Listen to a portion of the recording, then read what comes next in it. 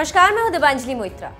महाराष्ट्र पिछले एक महीने से मीडिया की सुर्खियाँ बना हुआ है और महाराष्ट्र के ड्रामे पर रोज एक से बढ़कर एक बड़े खुलासे हो रहे हैं। पहले ये था कि हमारे पास बहुत है, फिर बहुमत नहीं मिला और बीजेपी ने फ्लोर टेस्ट से पहले ही अपने सीएम का इस्तीफा ले लिया।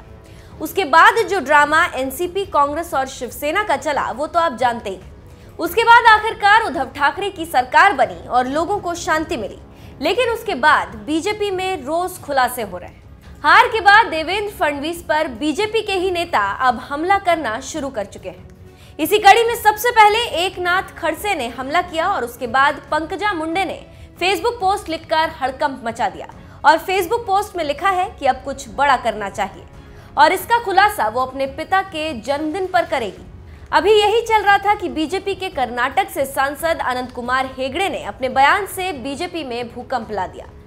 उन्होंने कहा कि महाराष्ट्र में 80 घंटे की सरकार बनाकर हमने केंद्र सरकार के चालीस हज़ार करोड़ रुपए बचा लिए।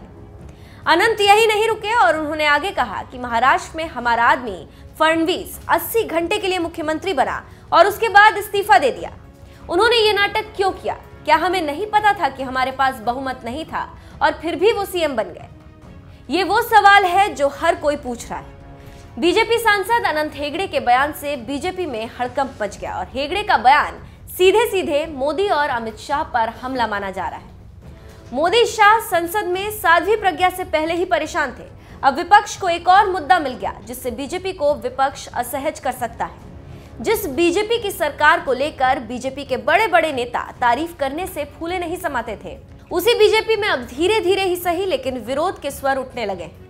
जिसने मोदी, अमित शाह के माथे पर पसीना ला दिया। विपक्ष को तो छोड़िए, जब अपने ही अपनों पर इस तरह से हमला करेंगे, जिसका मोदी, अमित शाह को तनिक भी भान नहीं होगा। लेकिन खुद बीजेपी से बीजेपी के लिए विरोध के स्वर उठना, मोदी, अमित शाह के लिए खतरे की घंटी है। अब देखना दिलचस्प होगा कि मोदी शाह बीजेपी को कैसे संभालते हैं और बीजेपी के अंदर से ही बीजेपी के लिए उठ रहे सवाल का जवाब कैसे देते हैं।